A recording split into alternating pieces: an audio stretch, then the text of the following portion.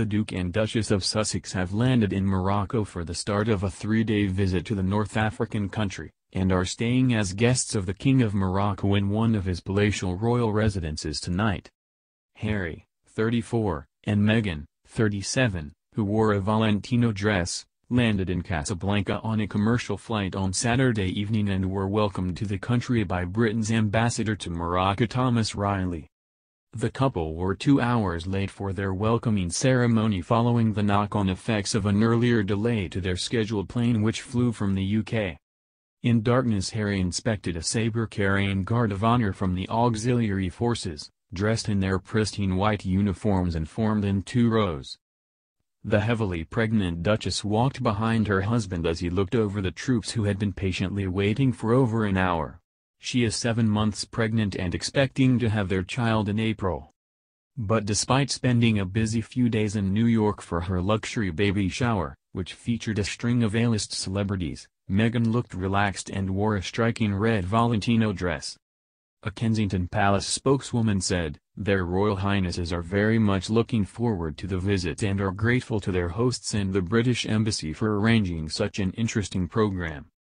They are particularly pleased that they will have the opportunity to meet so many young Moroccans over the next few days. The couple began their visit that will see them visit Morocco's famous Atlas Mountains and tour the capital Rabat by walking along a red carpet that led to Casablanca Airport's royal suite. As they entered the building they were offered milk and dates a traditional welcome in Morocco. Pregnant Meghan appeared to pass but Harry could be seen nibbling on a date. A large motorcade of black limousines was waiting to take Meghan and Harry and their entourage of nine, which includes a hairdresser, to meet Morocco's Crown Prince Moulay Hassan.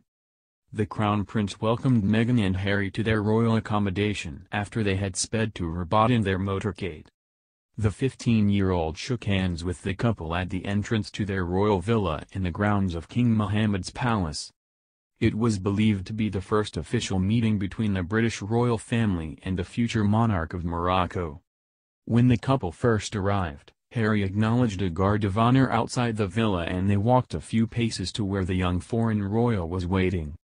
After the greeting, the Duke and Duchess were again offered dates and milk with orange blossom, served to special guests in the country and a feature of Moroccan weddings when the bride and groom feed each other the food.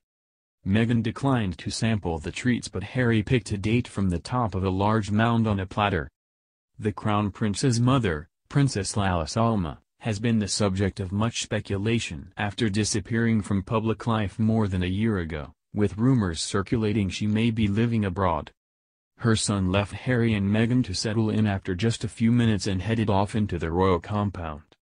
Mr. Reilly said he was hugely excited about the couple's visit, which is designed to strengthen ties between the UK and Morocco and highlight the work being done to improve access to education, particularly among young girls in rural communities. It is understood that Harry, 34 and his pregnant wife, Meghan, 37, will be staying as guests of King Mohammed VI in one of his palatial private residences this evening. King Mohammed is Morocco's leading businessman and banker, the Moroccan royal family has one of the largest fortunes in the world, estimated to be in the region of 4 billion pounds.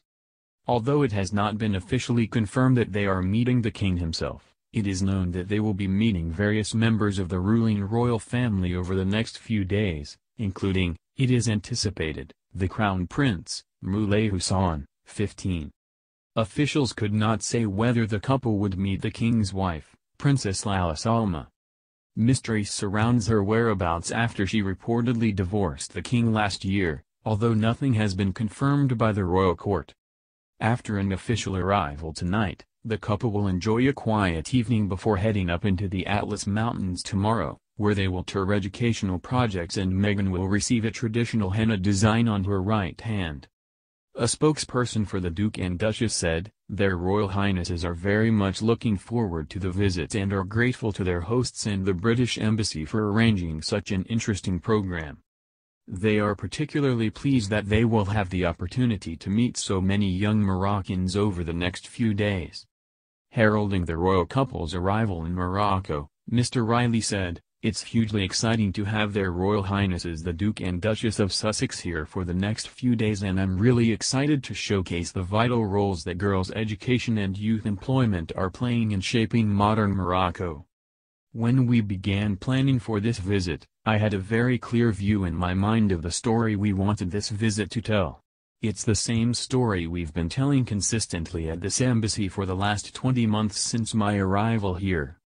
This official visit by the Duke and Duchess of Sussex will highlight Morocco's focus on women's empowerment, girls' education, inclusivity and the encouragement of social entrepreneurship.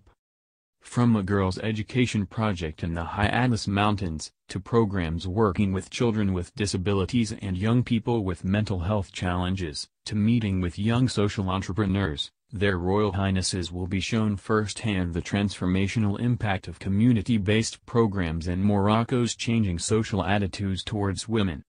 Harry and Meghan will visit the town of Asni on Sunday as their tour of the North African country begins in earnest with the couple learning about the Moroccan NGO Education for All founded by Michael McHugo.